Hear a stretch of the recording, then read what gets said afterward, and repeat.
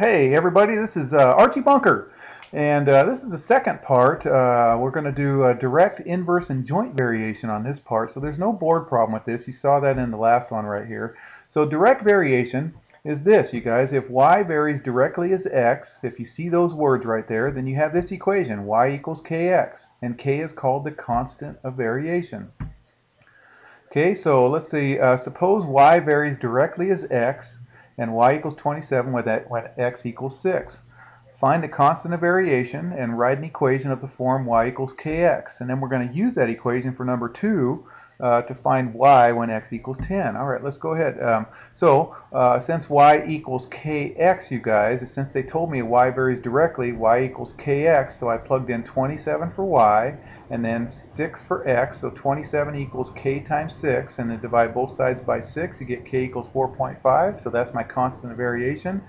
And then now um, uh, my equation is then y equals 4.5 times x. It said, to, it said first find the constant of variation and then write the equation. Okay. Now we're going to use this equation y equals 4.5x and plug in x equals 10 right there. All right. So 4.5 times 10 you get 45. Okay, so G uh, says if um, if y varies uh, directly as the cube of x, x cubed, and y equals 67, negative 67.5 when x equals 3, find x when y equals negative 540. Okay, remember, y equals kx, so that negative, uh, in this case, y equals k times x cubed, because it's the cube of x. All right? So what I had to do is, um, remember, you got to watch that word cube right there. Sometimes it says square root, so it'd be square root. So just watch the wording.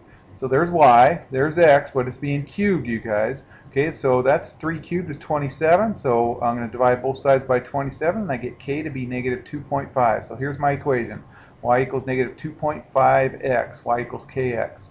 Okay, so now it says uh, uh, find x when y is negative 540. So I put in negative 540 for that, and then, then divided both sides by negative 2.5, and I got 216. All right, inverse variation is if uh, y varies inversely, then you use the equation y equals k over x. All right, so same stuff except you just do y equals k over x. So here we go. If y varies inversely as x, so y equals k over x, and y is 21 when x is 15, find uh, x when y is, is 12, okay? So I'm going to go ahead and do 21 equals k over 15, multiply both sides by 15, I get 315 equals k. So here's my equation, y equals 315 over x.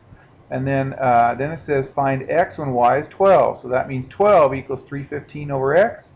Multiply both sides by x, I get 12x equals 315. So we get uh, 26.25, okay? So inverse is y equal k over x, direct is y equal kx. Okay, jointly means uh, if, if y varies jointly with x and z, then you use y equals, it's just like direct variation, you guys. Direct means jointly, except it's direct with a couple of things. So y equals kxz.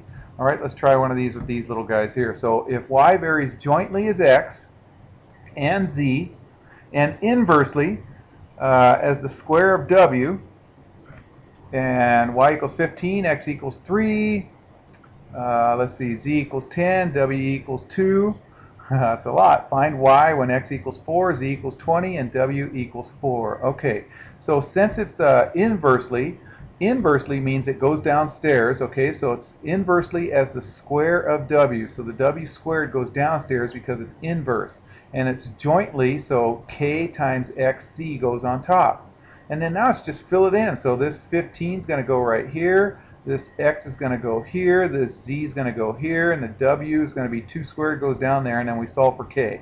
Okay? And I get k equals 2. So now I know it's this. y equals 2x y over w squared. And then you fill in that second half of the part right there. And you end up getting uh, 10 on that. All right?